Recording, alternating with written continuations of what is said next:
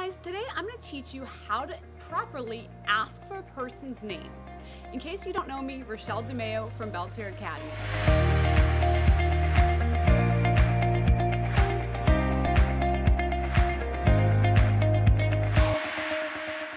So there are technically different ways that you can ask for a person's name in French. The first way is simply by saying Comment vous appelez-vous?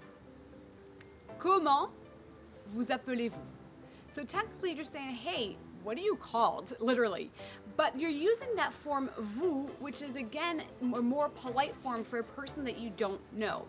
So you would just say, comment vous appelez-vous? And again, remember from last week's lesson, I told you how you would introduce yourself to a person. You would simply say, je m'appelle, and that would be the response. But there is another form that you would use if you're addressing a child or possibly a person that you've been introduced to by a mutual friend or that you feel like you're already kind of connected, you already kind of somewhat know indirectly, and that would be comment t'appelles-tu? Comment t'appelles-tu? So, comment t'appelles-tu with the tu form? We talked about tutoie in a person. Well, that is simply because it's a child, so you have a more informal form for a child.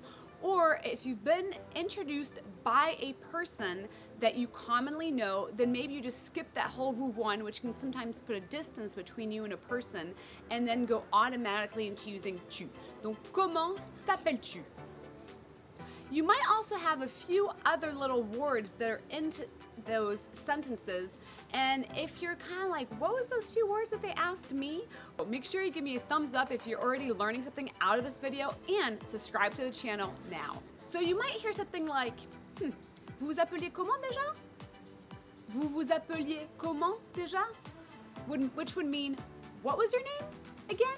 Donc déjà, okay, would simply mean again, like you already knew what that person's name was or you heard it once but you don't remember. Or you might hear, et vous, c'était quoi déjà votre nom? Oh, what was your name again? Donc you're using nom. Or you might say, quel est votre nom? Quel est votre nom? So simply, literally, what is your name?